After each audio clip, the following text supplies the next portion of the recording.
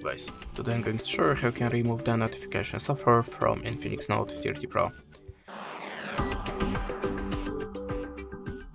So if you see something like that in your notification bar, or you have a spamming pop-ups when you're trying to visit any site, that means you have a notification software, and you can try to remove it by two ways, system settings and antivirus app. Now I'm gonna show you the first method.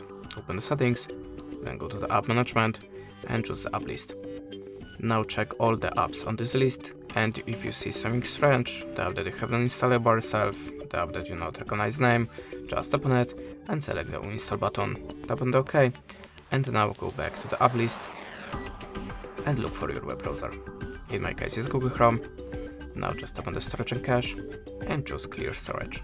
Tap on the clear all data and tap on the OK. After that your web browser should be free from notification software. But if that way doesn't work for you, you can also try to download antivirus app, so go to the Play Store and look for the best antivirus app for you.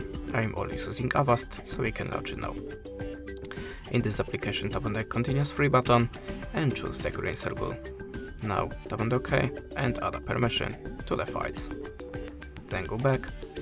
Now the scanning process should start automatically and after this process all of the unwanted softwares should be removed from your phone. And that's it. Thanks for watching, leave us a like or a comment and goodbye.